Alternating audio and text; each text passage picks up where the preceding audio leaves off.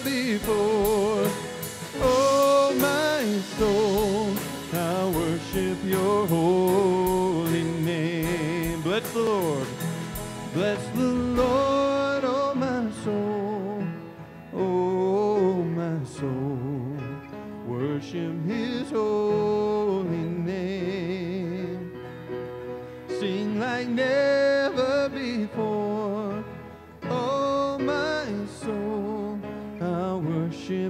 holy name. Let's pray together this evening. Heavenly Father, we want to thank you that you are worthy and deserving of our praise, Lord. I pray that you would speak to our hearts, Lord. Draw us into a deeper relationship with you, Father, so that we might glorify and honor you uh, more so with our lives, Father, because of the way that you have spoken to us tonight, Lord. In Jesus' name we pray. Amen. Amen. If you got your Bibles, make your way to Ephesians chapter 5. Ephesians chapter 5. We're going to be talking tonight on the church, on the God of the now. I'll explain. All right, I'll explain. Uh, we've been going through a series on Sunday nights on the church on, and we've talked about different subjects. If you remember, we talked about politics was the first uh, Sunday night. Aren't you glad we're not going to talk about politics tonight? Can I get a witness? Amen. Um, we talked about the church on politics, and then we also talked about the church on the church, and on and on and on we've gone. Well, tonight, I want to talk to you on the idea, the subject of the church on the God of the now. Now, here's what I'm talking about. We believe in a triune God, Father, Son, and Holy Spirit. That is exactly right. The Holy Spirit. And so we're going to talk about what I call the God of now. The God of now, the God of today. Now, all three are one. You can't separate the three, and we know that, right? But when I explain it to children, uh, God the Father is the one we see in the Old Testament. He's the one who is the creator. Now, all three are creator. I understand that. I'm not trying to separate them, but just to try to help us better understand the Trinity, something that is ununderstandable, right? But when I teach kids, I talk about, you know, that's the God that you see in the Old Testament. You know, and I know you see Jesus in the Old Testament as well. We know that. And you see the Holy Spirit as well. But the majority of the time, when you hear God's voice in the Old Testament, it's God the Father. Then you've got the Gospels. That's God the Son. It's Jesus coming to earth uh, to live among men a perfect life, a sinless life, to die, a sinless man for a sinful world, so that the world might be saved. That's God the Son. And then after that, when Jesus ascends to heaven, what does he promise to send? John chapter 14, a counselor. He, he, he promises to send a comforter, which is the Holy Spirit. That's the God of today. When God speaks, he speaks through the Holy Spirit today. And so that's kind of how uh, I, I try, as best as my feeble mind can explain the Trinity. But at the end of the day, you can't explain the Trinity, right? If you have more questions about the Trinity, Roger will meet you after. And that's light work, and I'm just going to let him handle that. Yeah. I don't remember what Roger told someone to come talk to me about this last week, but it was something really deep. He said, I just returned the favor. So you keep telling them, come to me. So I just returned the favor. There's so many things in the Bible we can't explain. Of course, the Trinity is one of those, but we can explain the Holy Spirit, who the Holy Spirit is in our lives. Point number one is the Spirit's Word. Look there with me in Ephesians chapter 5. excuse me, Ephesians chapter 5, beginning in verse 15. Ephesians 5, beginning in verse 15. It says, Pay careful attention then to how you walk, not as unwise people, but as wise, making the most of the time because the days are evil.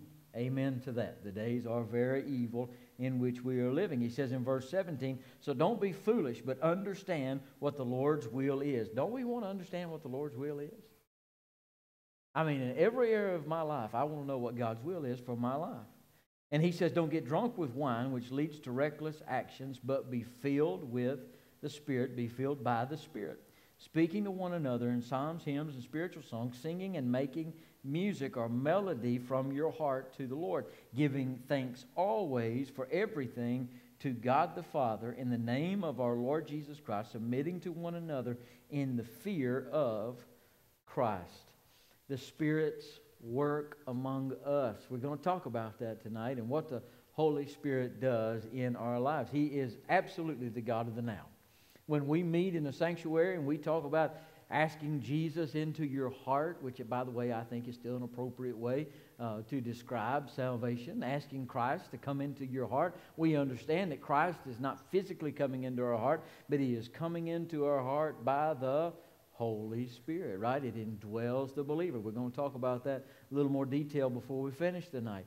He is coming into our heart. If God speaks in this room tonight, and boy, I pray He does, I pray He does, the way He does it is through the power of the Holy Spirit. Point number one is the Spirit's word. 2 Peter chapter 1, verses 16 through 21 says this For we did not follow cleverly contrived myths. Don't you like how Peter puts that? This is not a fable. The Bible is not some book of, of fables that we put together and try to find some type of, of truth. And no, no. We didn't follow cleverly contrived myths when we made known to you the power and coming of our Lord Jesus Christ. Instead, we were eyewitnesses of his majesty. One reason I choose to believe the Bible is because it was written by those who lived it. They walked it. They, they were there. Peter was there with Jesus. John was there with Jesus. Now, we know there are others who weren't necessarily right there with Jesus. And we understand the Apostle Paul didn't walk with him on the seashores of Galilee, but he saw him face to face. And so these are eyewitnesses of the truth of God's word who are the writers of the book.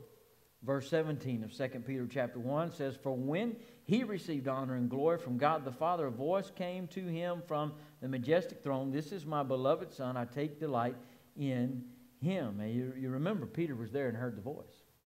Peter was there, he heard the voice. And we heard this voice when it came from heaven while we were with him on the holy mountain, the Mount of Transfiguration, he's speaking of. And he says, I heard it, I saw it, I was there. It's not something I read about in the book, but I lived it. Verse 19. So we have the prophetic word strongly confirmed. You will do well to pay attention to it as to a lamp shining in a dismal place until the day dawns and the morning star rises in your hearts.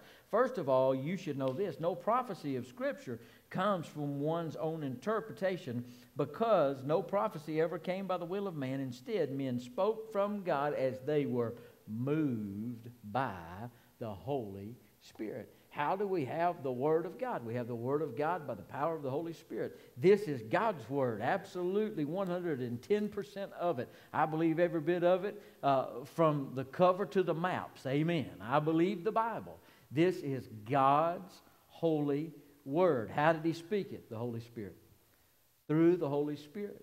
This is the Holy Spirit's voice to us right here in His Word. 2 Timothy chapter 3, you know these verses uh, verses 16 through 17. All scripture is inspired by God and is profitable for teaching, for rebuking, for correcting, for training in righteousness, so that the man of God may be complete and equipped for every good work. The Word of God is right when the world is wrong. The Word of God is right. How does the church feel about the Word of God and the Spirit behind the Word? He is always true. When the world can't find truth, hey, when the church can't find truth, we can go to the Word of God and find truth. Everything in this church must be filtered by the Word of God, but let's go deeper than that. Because it's fun to talk about the church, right? That's everybody, that's, that's everybody else. But let's talk about everything in your life. See, this is the, the Spirit, this is the Spirit's word to you in your own life. And the Apostle Paul says in Ephesians chapter 5, don't get drunk with wine. It's bad news, right? We know that. But he says, be filled with the unction, spirit, the moving of the Holy Spirit. The third part of the Trinity, be filled with the Spirit. Why and how? Through the very living Word of God. This is the Spirit's book. If you want to know what the Holy Spirit's saying, you got to read His book. How many times have you heard me and other preachers say, and other Christians say, maybe you say it yourself, that God's an open book and He wants to be read? Spirit's Word. Point number two is this the Spirit's ministry. D.L. Moody uh, was to have a campaign in England, and an elderly pastor uh, protested, Why do we need this Mr. Moody? He's uneducated, he's inexperienced, and etc. He, who does he think he is anyway? Does he think he has a monopoly on the Holy Spirit. A younger and wiser pastor rose and responded, No, but the Holy Spirit has a monopoly on Mr. Moody. And that's who you want preaching the Word of God to you, is someone who is controlled by the Holy Spirit. If you'll notice, sometimes I'm sitting over here and sometimes over there, and then on Sunday nights, for some reason, I said here. I don't know why. I have no idea why. Most people pick a chair and they sit in it, and, and I don't know why I sat on that side. I've always sat on that side of this. I have no idea why. No idea why, because growing up, I sat on that side. So I, I don't know why.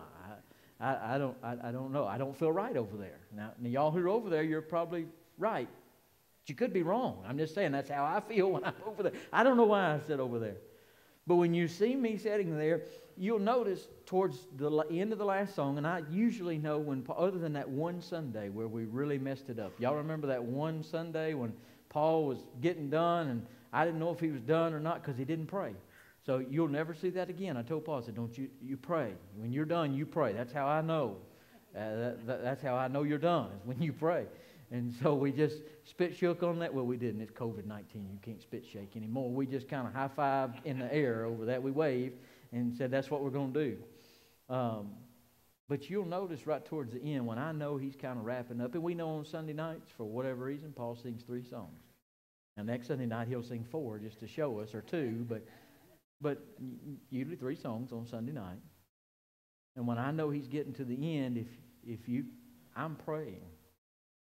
And here's what I'm praying. Every time. Lord, thank you for Jesus. Lord, thank you for Jesus. And the second thing I pray is, Lord, if there's anything in my heart that makes me not ready, help me. Forgive me. Because when I stand up here, it's a very, very holy and a very important time. I knew a preacher one time that took off his shoes every time he preached. And here's why. He said, I'm on holy ground when I'm preaching the Word of God. It was a vivid illustration to everyone who ever heard him preach. He really believed he was on holy ground while he was preaching. Now, I don't take my shoes off. I need all the height I can get. Amen. I don't take my shoes off, but I am on holy ground. And by the way, when you enter into this place, you're on holy ground. And by the way, when you walk out that door, you're on holy ground. He owns it all. Spirit's word in your life, the Spirit's ministry with your life. Sometime back, the Associated Press carried this dispatch in Glasgow, Kentucky. Leslie Puckett, after struggling to start his car, lifted the hood and discovered that someone had stolen the motor. in the church, as we talk about the Holy Spirit, sometimes I wonder if we could lift up the hood and see that we have allowed Satan to steal our motor. Church so many times becomes kind of a country club where we meet and we greet and and let's be honest, that's one of the things we've missed through this pandemic is being able to greet one another. I mean, you know, uh, being able to hug someone's neck who's who's hurting and and and and we just kind of, I mean, I, we we just kind of got over that. Uh, we're doing it. I, I, mean, I don't know if it's right or wrong, but when when Elaine was here yesterday for that service, I I never thought about it. I had a mask on because the family had asked for that to happen. And I walked right up and hugged her neck. I, when I when I went to meet her at her front door the day he died, when she opened the door, she just, you know, and I hugged her. I mean, I did. And if, if I get a virus for doing that, I'm telling you, I'm, I'm okay with it. I, I hope she doesn't get anything from me. I mean, that, that's what I don't want. But we, we, we miss that.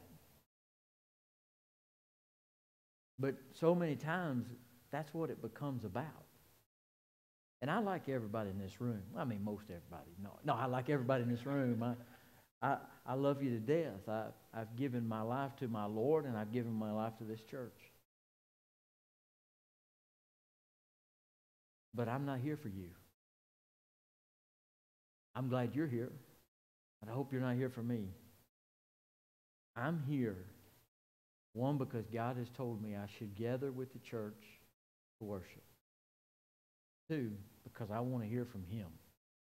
I want to meet with Him here corporately. I can meet with Him privately, but I'm telling you, there's something about corporate worship that I need.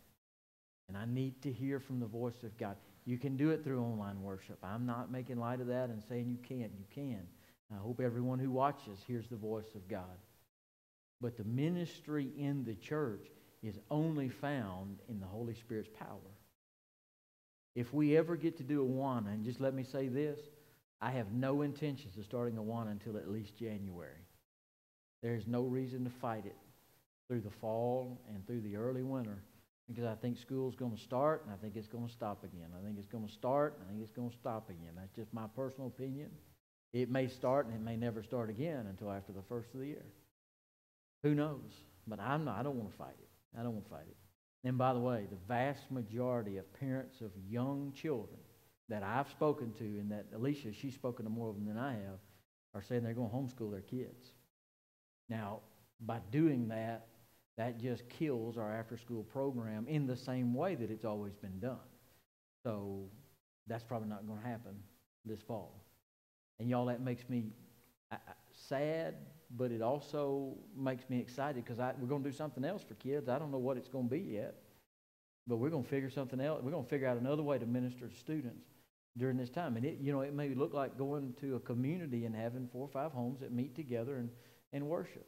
And that may turn out to be a lot more productive than Awana even was. And y'all know what's going to happen. Awana's going to come out with some type of a program to be able to reach students. It may be better than anything we could come up with because they are literally experts on reaching children. And so I'm waiting to hear from them to see what they come up with because you know they've got to be working on something during this time. But when we came and worked with students on Wednesday nights, if we were doing that without the ministry and the work of the Holy Spirit, it was useless. It was futile.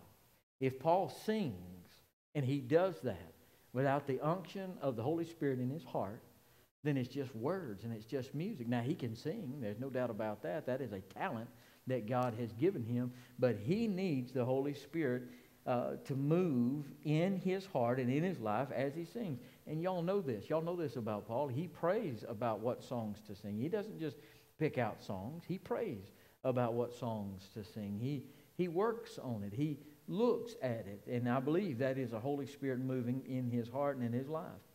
What does the Holy Spirit do in and through his church? The Holy Spirit convicts us. John chapter 16, verses 5 through 11 says this But now I am going away to him who sent me, and not one of you asked me, Where are you going?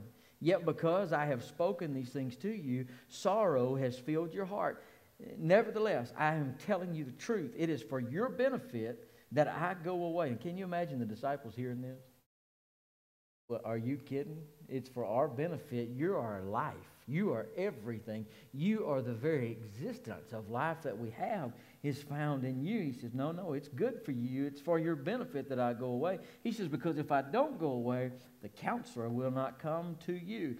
If I go, I will send him to you. When he comes, he will convict the world about sin, righteousness, and judgment about sin because they do not believe in me, about righteousness because I'm going to the Father and you will no longer see me, and about judgment because the ruler of this world has already been judged. The Holy Spirit and His moving is a convicting spirit that works among us. Listen, without the work of the Holy Spirit, we'll not see sin for what it is. Sometimes in my life, I notice sin feels right. You ever notice that? It just feels like that's the right thing to do. Sometimes I feel like getting mad and angry and just throwing a, I mean, a good old fashioned South Arkansas fit is what I ought to do. Now I know because the Holy Spirit prompts me in my heart that that is not right. I know that. Sometimes when I hit my hand with a hammer, it feels right to say that word out loud. Yet the Holy Spirit prompts me back to those scriptures that say, no foolish talking, no coarse, rough words should come from the mouth of a Christian. Sometimes I hear that voice afterwards, right? This there. It convicts me of sin. It shows me where I'm wrong. It shows me the right way. The Holy Spirit convicts us, but not only does the Holy Spirit convict us, but He calls us. Revelation chapter 22, verse 17 says, Both the Spirit and the bride say, Come. Anyone who hears should say, Come. And the one who is thirsty should come. Whoever desires should take the living water as a gift. The Holy Spirit is a caller. John chapter 6 and verse 44 says, No man can come to me unless the Father who sent me draws him, and I will raise him up on the last day. How does the Father draw lost souls and even saved souls to himself? It's through the power of the Holy Spirit. You say, well, who will he draw? I'm glad you asked. 2 Timothy chapter 2, verses 1 through 4. First of all, then I urge that petitions and prayers and intercessions and thanksgivings be made for everyone, for kings and for all those who are in authority, so that we may lead a tranquil and quiet life in all godliness and dignity. This is good, and it pleases God our Savior, who wants everyone to be saved and to come to the knowledge of the truth. I've told this story before, talking to a, uh, a pastor, and it's a long story, but the pastor had been fired from his church uh, because he was preaching what I believe to be non truth. Not everyone could be saved. That's what he was preaching. He actually made the statement after baptizing his child that Sunday morning, that Sunday night, he asked his church to pray for his own child that that child is elect and will make it to heaven. One of the good deacons in that church went to the associational missionary and said, What do we do with this pastor? And the associational missionary said, You've got to fire him. That's not in the Word of God. That's too far. And so they talked to him, and he was non repentant, and they fired him. The day after they fired him, I went on the local radio station. Y'all know me. I just walk right into it sometimes, and I said five reasons why I am not a Calvinist. It ran for over two weeks on the radio station, and I refuted Calvinism, which is the belief that not everyone is called to be saved, among a lot of other things, by the way. That Monday night, he called me and asked, could he meet with me? I'll meet with anybody. Absolutely. You want me? No, I'm coming to your church. And for a little over four hours, he tried to convince me that Calvinism was the way to go. At the end of almost four hours of me, I literally, I just said, mm-hmm, mm-hmm. I never said a word. Mm-hmm. Yep. Okay. I see that in Scripture. Yeah. Mm-hmm. He had four Bibles uh, out in front. Three of them were John MacArthur Bibles, who is a very well-known uh, Calvinist. When we got through with that conversation, I said, What about the scripture that I'm about to read to you? And this is what he said, and I quote I don't know. I've never read that scripture. Tact was not one of my spiritual gifts early on in the ministry. I still lack in that area of my life sometimes. And I looked at him and said, You, sir, have come to a gunfight carrying a knife if you have not read the Word of God. Then I began to quote a few things from John Calvin to him, which is, by the way, the man that they named Calvinism after. He had also not read John Calvin. And he left. And he got mad. And he came back. And it almost got really ugly when he came back. Theology can do that to you. Theology can either make you angry or make you grateful. I believe in theology. I believe in the study of God. I do. I, I want to know more about it. And there's more things that I can't answer about God than things that I can.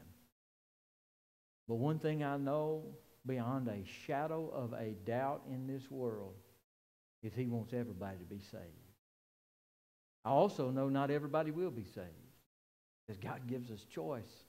And we're sinful creatures.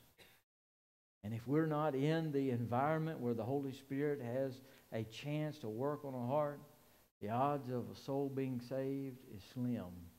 I didn't say it was none. I said it was slim.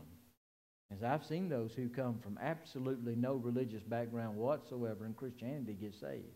I've seen Muslims in a Muslim nation get saved. And we're seeing it even today through some of the missionaries that we support. So God, to God be the glory. God can do whatever God wants to do, and He wants to save a soul.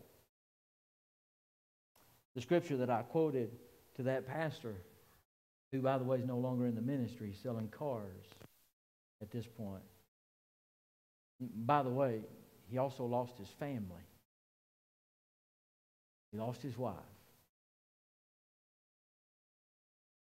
Because he got so deep into it that he couldn't just say, you know, Jesus loves everyone.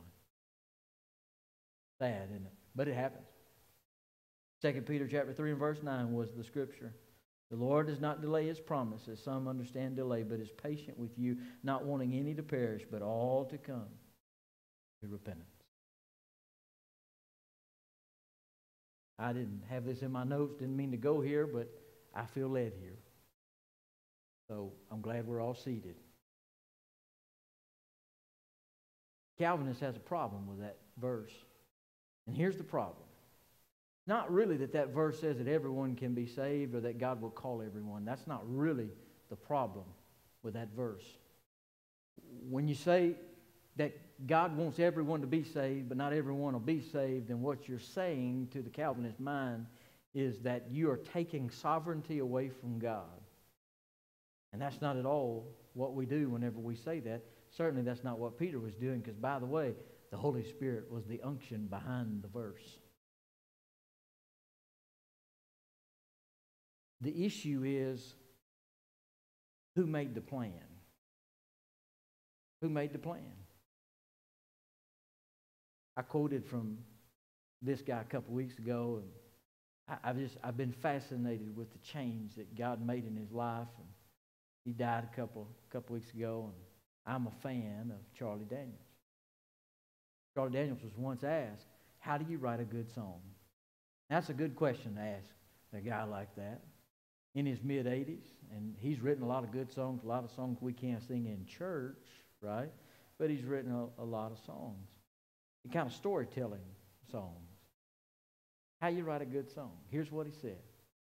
You figure out the beginning and you figure out the end, and everything in between is just hard work. That's a good way to describe writing a song, I'm sure. You figure out the beginning where you want to start, and you figure out where you want to wind up, and then you just kind of figure out the details in between. And in the Christian life, we know the beginning. In the beginning, God created the heavens and the earth, right? We know that. God is creator. So who set the plan in motion? God did. How do you understand the sovereignty of God? He sovereignly set the plan in motion. Now, the question is, how does it end? It ends with God. Adrian Rogers said for years, the world's not going to hell, it's going to Jesus, right? We're headed to Jesus. That is exactly right. What a great way to say it. Now, everything in between is hard work of figuring out what's in between. But if you've got the Creator in the right place, and you've got the ender, who, by the way, is the same one as the creator. If he sets the plan in motion, then whatever he plans is sovereignly set in motion. What he set in motion? Well, he set creation in motion, but he also set freedom in motion. He created it, he started it, but he didn't leave it. He didn't leave it, he walked with it every day of its existence, even through today. Remember, the study tonight is a God of the now, the Holy Spirit, who's walking with us. Every person in this room has freedom. You have freedom. You could get up and walk out and never come back to this church. Oh, don't, don't choose that way. Please don't choose that way. But you could. You could. I have freedom. I could resign tonight, but you just bought my daughter a dog this morning. How could I resign tonight, right? Thank you for that, by the way. That's a nice gift. Meant a lot. We have freedom. That doesn't take God's sovereignty away. Because, see, He has freedom to take your life at any moment He chooses. And you don't know the timeline, and neither do I. God is sovereignly in control. What is He sovereignly in control of? Everything. Is He sovereignly in control of salvation? Yes. Yes, I was not saved because I chose anything. I was saved because He chose me. You say, well, who did He choose? Anyone who choose Him. You say, well, that's confusing. Well, I don't know why. It's pretty simple. It's pretty simple, isn't it? Quit making it so hard. I believe that we could have more converts in our church if I said, you've got to get on your hands and knees and crawl around the sanctuary, and if you'll do that seven times, then you'll go to heaven. I really do. I believe we would have more lost people who would get on their hands and knees and crawl around this sanctuary seven times than would give their hearts to Jesus. Because we're human and we try to make it difficult, something we've earned, and it has nothing, nothing to do with us. So, who does the Holy Spirit call? He calls all. Who will be saved? The ones who call on His name. Who can be saved? Anyone who calls on His name. The Holy Spirit calls us. But thirdly, the Holy Spirit regenerates us. You know these words, John chapter 3 and verse 6. Whatever is born of the flesh is flesh, whatever is born of the Spirit is spirit. Jesus said, You must be born again, regenerated, made new from the inside out. As the song says, I got Jesus on the inside, He's working on the outside. Oh, what a change in my life. He is, he has got to be on the inside. When Peter preached at Caesarea in Acts chapter 10 and verse 44, he was preaching to the Gentiles, and the Bible says, while Peter was still speaking these words, the Holy Spirit came down on those who heard the message. What did the Holy Spirit do? The Holy Spirit called, and the Holy Spirit regenerated in that moment and in that time. So the Holy Spirit not only convicts us and calls us, and he regenerates us, but then he indwells us as believers. 1 John chapter 5 says this Everyone who believes that Jesus is the Messiah has been born of God, born again, literally. And everyone who loves the Father also loves the one who's born of him. This is how we know that we love God's children when we love God and obey his commands. For this is what the love of God is to keep his commands. Now, his commands are not a burden because whatever has been born of God conquers the world. This is the victory that has conquered the world, our faith. And who is the one who conquers the world but the one who believes that Jesus is the Son of God? Jesus Christ. He is the one who came by water and blood, not only by water, but by water and blood. And the Holy and the Spirit is the one who testifies because the Spirit is the truth. For there are three that testify the Spirit, the water, and the blood. And these three are in agreement. If we accept the testimony of men, God's testimony is greater because it is God's testimony that He has given about His Son. The one who believes in the Son of God has this testimony within him. The one who does not believe God has made him a liar because he has not believed in the testimony God has given about his Son. What is the testimony?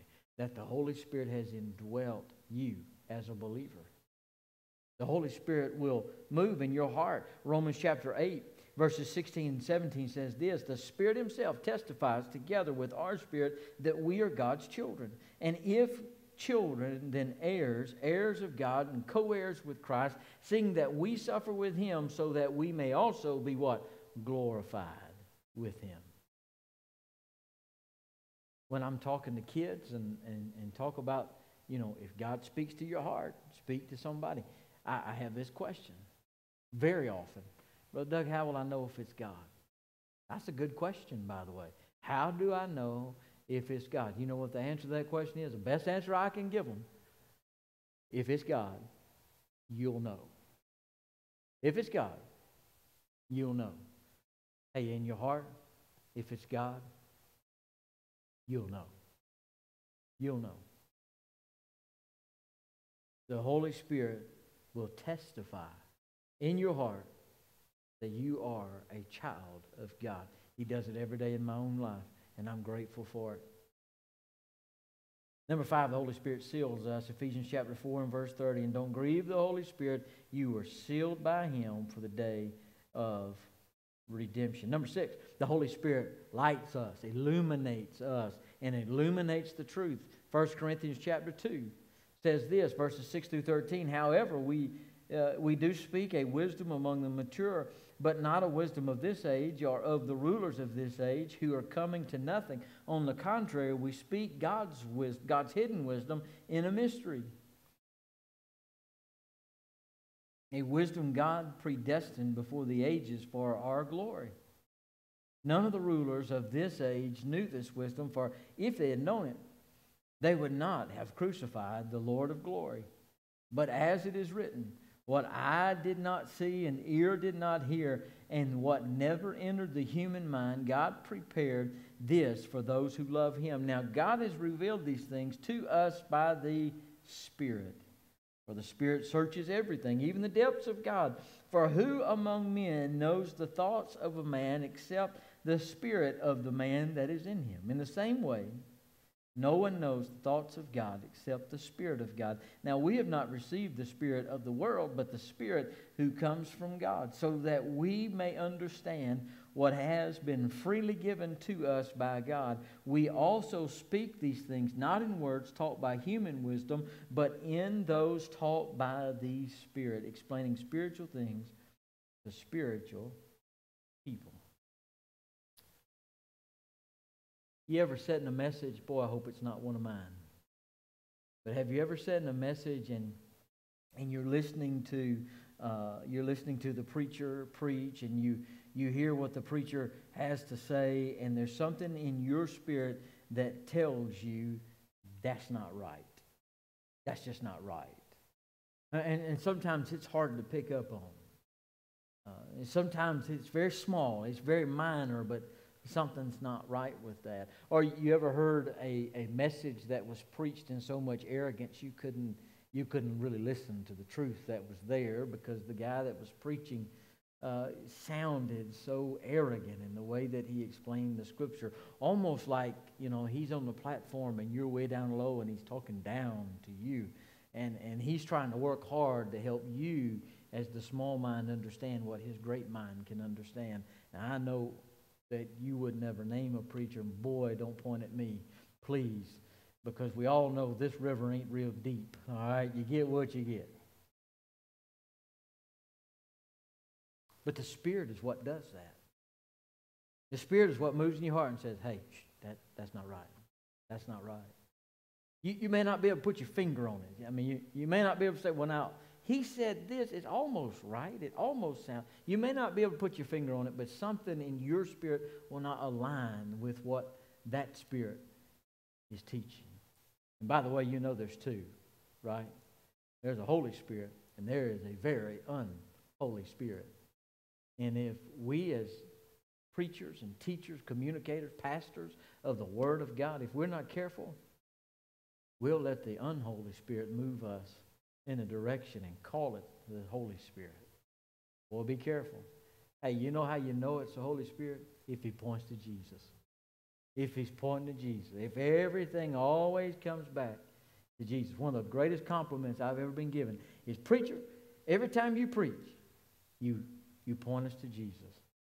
Man, that, that lights my fire. Amen. I don't do much right, but I got that right, right? I mean, point to Jesus. That's what the Holy Spirit is to do. The Holy Spirit also teaches us, teaches us, and shows us the Word of God. John 14, 26 says, But the counsel of the Holy Spirit, the Father, will send him in my name, and he will do what? He'll teach you all things and remind you of everything I have told you. And then, uh, eighthly, the Holy Spirit intercedes for us. Boy, that's a good thought. Romans chapter 8.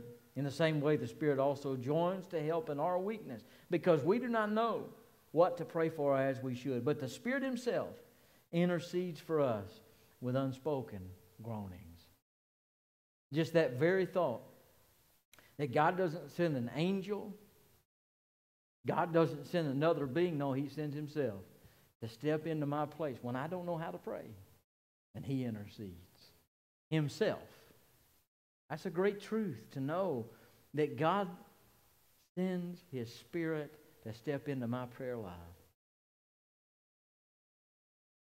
You know the verse or, or, the chapter that started this whole idea of unity on Sunday morning was John chapter 17. The whole chapter is Jesus praying for his church. And by the way, he hasn't stopped yet. The third main point I want you to see about the Holy Spirit tonight, and we're done, is the Spirit's church. The Holy Spirit is a unifying spirit. Romans chapter 8 says that your spirit will align not only with him, but with someone else's spirit when you come in contact with someone who is saved. You, will know it. Now, you won't always know it, but uh, the vast majority of the time, if you're walking with God, you'll know this guy, man, this guy's got it. He's just got it. I love being around preachers who have it. I've been around a lot of preachers who think they have it, but I love being around preachers who have it. I mean, they're in tune with God. They, they're getting insight from His Holy Spirit, things that they maybe wouldn't share with the whole congregation, but when preachers get together, we talk about things and they, they, they'll talk about the spiritual battle that's there and what are you facing, and it'll be much like the same things that I'm facing in my life because they're walking with God. They're walking with God, fighting against culture, fighting against worldliness in their own life, and then standing for the truth in the pulpit. The Holy Spirit's church, the Holy Spirit in the church is a unifying factor. 1 Corinthians chapter 12 and verse 13, for we were all baptized by one spirit into one body. Now I'm not talking about water baptism. I'm talking about spiritual baptism. We were all baptized by one spirit into one body. Now listen, that means if if an assembly God man is saved and if I am saved, we were baptized with one spirit. If a Methodist man is saved and I am saved, then we were baptized in one spirit. We may disagree doctrinally on some minor issues, but the Holy Spirit, if they are truly born again, then the Holy Spirit has saved them just like the Holy Spirit has saved me. And we were baptized by the same Spirit into one overall body whether Jews or Greeks, whether slaves or free. And we were all made to drink what? One spirit. And not a Methodist spirit and a Baptist spirit, they're just a spirit. And the Holy Spirit is one. As we too, through the Spirit, should be one.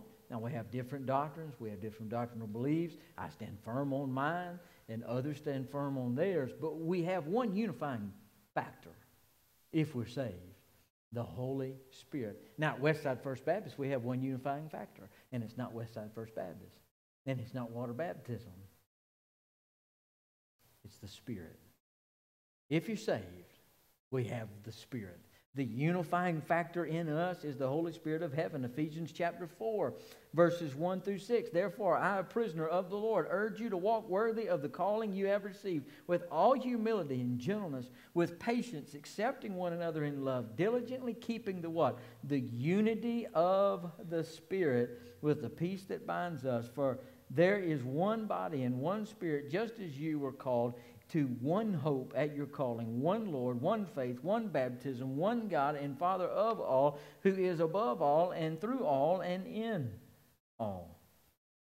The Holy Spirit is unifying in His church, and the Holy Spirit is gifting in His church. Spiritual gifts, we all have at least one. Most of us have multiple gifts. We all have at least one gift that is a spiritual gift that is given to you from the Holy Spirit. Not a talent, but a gift. A gift. A God given ability to serve Christ through and in His church. 1 Peter chapter 4 says this Now the end of all things is near. Can you agree with me that it is closer today than it was when Peter wrote the words? It, it, you know, let me give you a profound word from the Apostle Paul. It's closer today than it was yesterday, right? And you read those words in the scripture, you think you had a double doctorate degree in theology before you ever met Jesus. Then you met him face to face, and that's what you give us. Thank you, Paul. That is deep, right? But it's true. It's true. And on Monday, if we all are here tomorrow, who knows? We may leave tonight. But if we are, we'll be closer tomorrow than we are today. The end of all things is near. Therefore, be serious, discipline for prayer. Above all, maintain an intense love for each other, since love covers a multitude of sins. Any woman in the room who is married should say amen to that, right? I love him. And your mama said, Have you ever seen him? Do you know who he is? But, mama, I love him. Why? Love covers a multitude of sins. That's sort of a joke, but nobody's laughing. Uh, y'all are tired, I guess.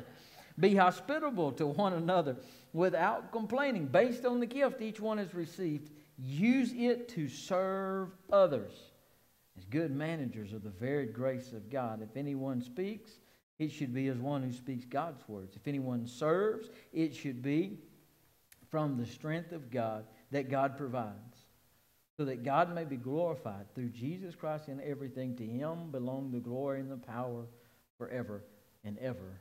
Amen. Several years ago, Two students graduated from, from the Chicago Kent College of Law. The highest ranking student in the class was a blind man named Overton. And when he received the honor, he insisted that half the credit should go to his friend, and I can't say his word, uh, Kospitzak, I guess is how you say that, that last name. They had met one another in school when the armless Mr. Kerspitzkat, I don't know how you say it, had guided the blind Mr. Overton down a flight of stairs. Their acquaintance began to ripen through the years into friendship and a beautiful example of interdependence. Now, listen to this. The blind man carried the books for the armless man. The armless man read aloud their common study. And thus, the individual deficiency of each was compensated for by the other. After the graduation, they began to practice law together.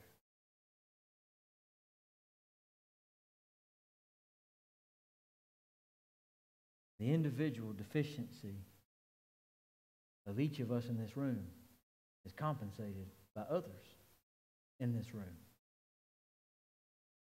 I may not have the gift of hospitality, but some of you do. I may not have the gift of service, but some of you do. You may not have the gift of preaching, but some of us do. You, you may not have the gifting of teaching. You say, I wish I could, but that's just not my that's just not my thing. Some of us do. You may not have the spiritual gift of discernment. Now we all have some discernment, but some are just a little more discerning, a little more, a little deeper. But others do. You may be the blind man, but somebody else can see. You, you may be the armless man, but somebody else has arms. See, that's how the church is supposed to work. We all work out our own spiritual gift in the way that we're called to work it, and then the church functions and begins to walk. Ray likes to quote me on this. When I ask him a question, he says, Hey, I'm doing what you said. I'm staying in my lane. The church is like runners in a race.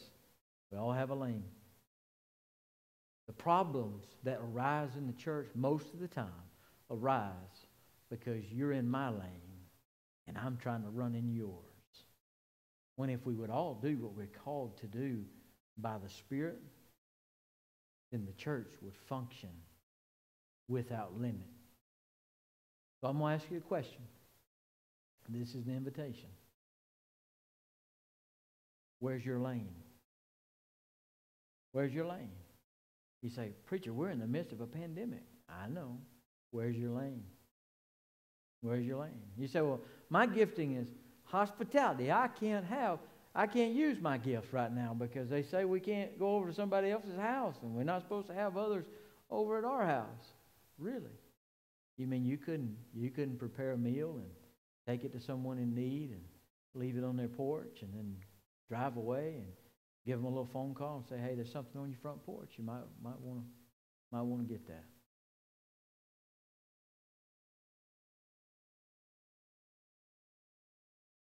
You know, just a welcoming voice on social media would be nice every once in a while, wouldn't it?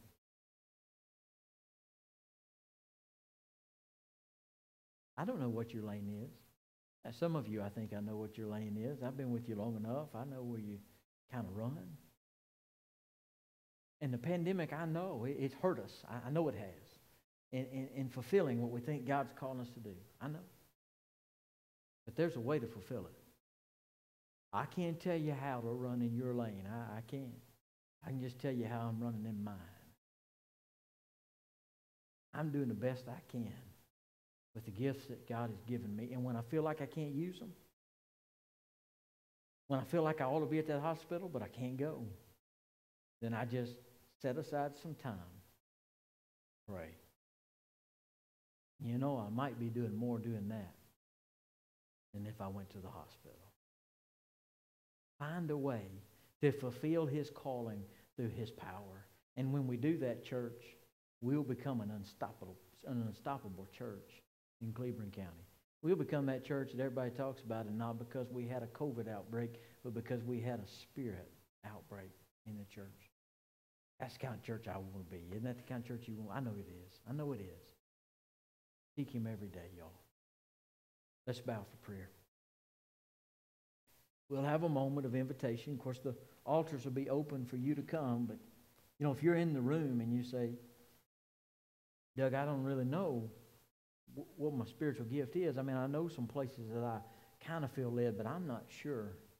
Well, the only way to get sure is to get into His Word a bended knee.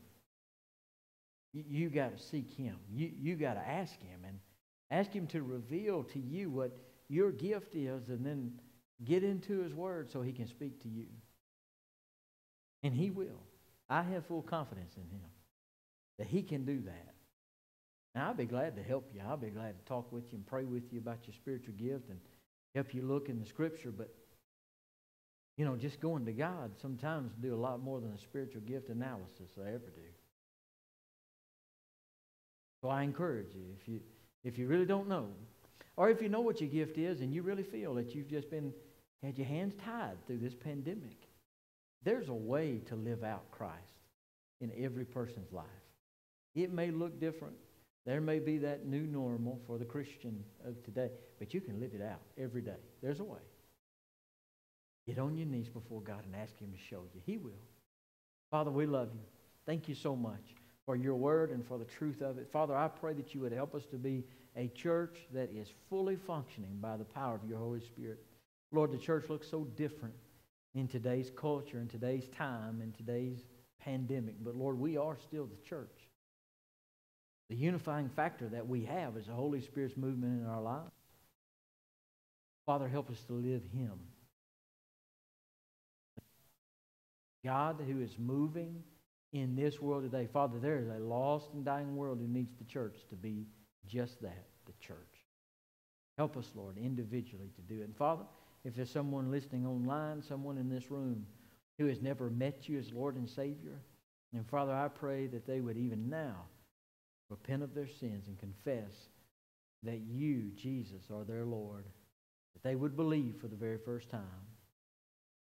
And it's in the name of Jesus we pray. Amen. Let's all stand. If you need to come, altars are open. If you need to come and pray, you come. Just as I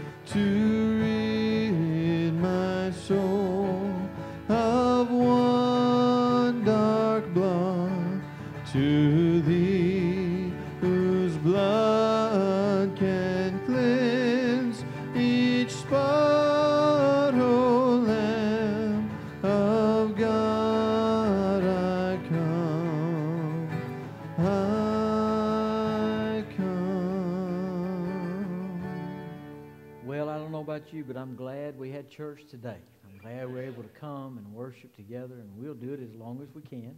And uh, hopefully, we'll never have to shut the doors of this church again. Um, but do be in prayer. Be in prayer for those who have lost loved ones. Uh, this past week, we've had uh, at least three in our church that lost uh, loved ones. Or well, one's not necessarily a member of our church, but had been here so long and had just left uh, that he feels like a member of our church. And so, uh, y'all be in prayer for those. The the man who, who passed away in Prim, uh, Stubbs, Bob Stubbs, was uh, a member of Jennifer Fife's family. So be in prayer uh, for Jennifer as she mourns the loss of a loved one. And for those of you who didn't know, and I did not know him, I I really thought we were praying for an older man, but he's 47 years old. He's a young man uh, that the Lord took and used the virus to take him home, but he was a believer. And uh, so they had his service today up there in Prim. And so just be in prayer for the family, the Stubbs family, uh, through that loss. Of course, be in prayer for the Moses family, also for the White family who have lost loved ones uh, this week. Also, Miss Jean. Has anybody heard from Miss Jean this afternoon? She was supposed to come home today. Uh, the birds are here to worship. Hadn't replied. Uh, she put on Facebook on the, on our video this morning that she was watching and hoped to come home. She may be putting something on right now. She may be watching. I don't know. Uh, but she was supposed to come home today. Uh, so continue being prayer for Miss Jean, who has been in the hospital. Is there are there others we need to remember in special prayer before we dismiss? Yes, sir.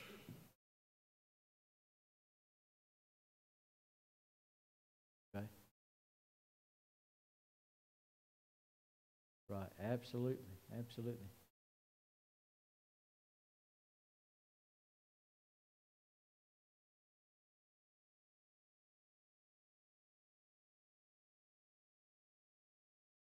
Oh gosh, his twin brother Bill. Hmm. Are there others? Yes, ma'am. Terry has another surgery Friday. He's so excited about that.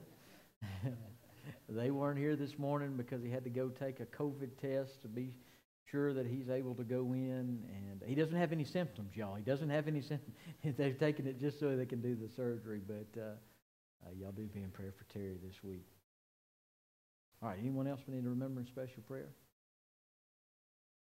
All right, as you go throughout this week, remember those in special prayer uh, this week. God bless you. We're so glad you came to worship tonight. We've got a good crowd. We're all spaced out like we're supposed to be.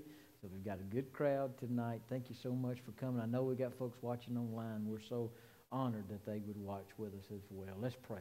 Father, we lift up every name and every need to you, Father, and we pray that you would heal where that's needed. Lord, we pray that you would comfort where that's needed as well. Father, I thank you uh, for our church that we call Westside here. And, uh, Father, what a blessing this church is to me and to my family. And Lord, they were this very day. Such a nice gesture. And so, Father, I thank you for that. And Lord, I thank you for every member that we have. Father, I also thank you for all of our guests that are here, not just tonight, but the ones who come in and out of these doors every week. And we're so honored that they would choose to spend a few moments here in this place with this group of people. But Father, we know they're not here because of us. They're here because of you. So Father, we give you all praise, honor, and glory for it.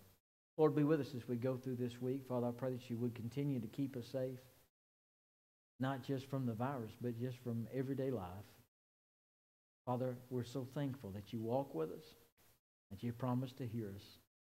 And it's in the mighty name of Jesus we pray. Amen. God bless you.